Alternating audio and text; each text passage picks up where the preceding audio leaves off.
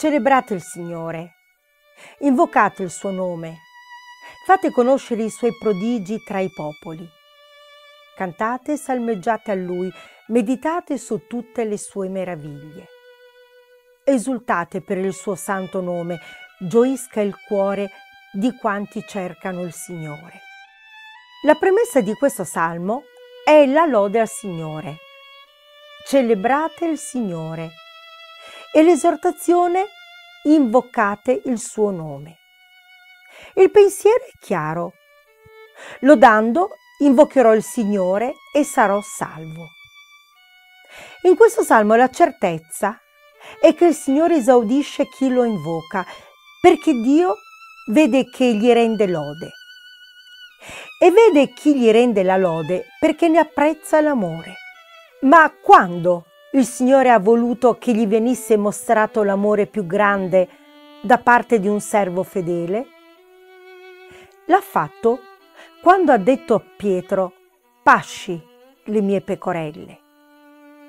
Per questo anche qui si legge, fate conoscere i suoi prodigi tra i popoli, cioè Parlate delle opere di quello che il Signore fa nella vostra vita e quotidianamente. A chi sono rivolte queste parole? A ognuno di noi.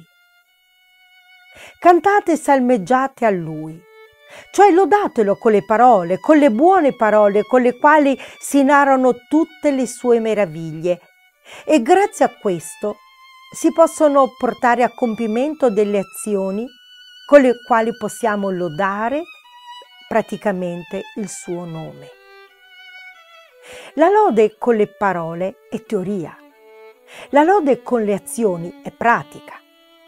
Cioè il salmista ricorda che ci deve essere uno stretto legame tra la teoria e la pratica.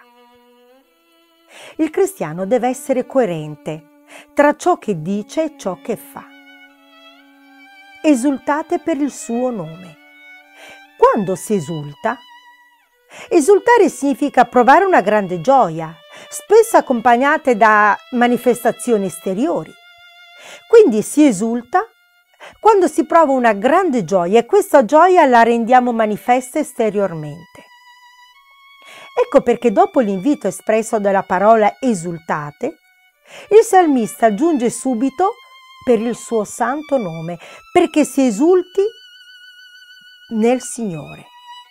Perciò chi esulta non lo faccia per se stesso, ma in onore del Signore, perché ogni azione non venga fatta per essere vista o per mettersi in mostra agli occhi degli altri, ma ogni azione serva per dare gloria a Dio. Questo significa esultate per il suo santo nome.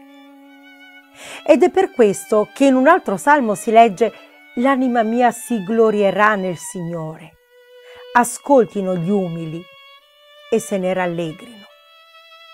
Il concetto è il cuore di coloro che cercano il Signore sia lieto.